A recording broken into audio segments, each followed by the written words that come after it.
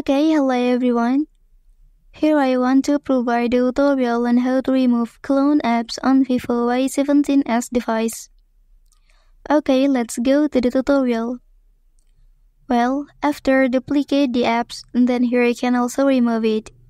The trick is, first thing first, you can open the settings menu on your device. Okay, and then here you can select apps option. After that, here you can select app clone. Okay, and then here will appear some applications on your device that was cloned or duplicate. And then to remove the apps, you can simply tap this button. Well, after that the clone app was successfully removed. Well, that's the tutorial on how to remove clone apps on Vivo Y17s device.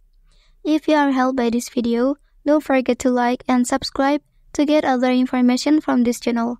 Thank you.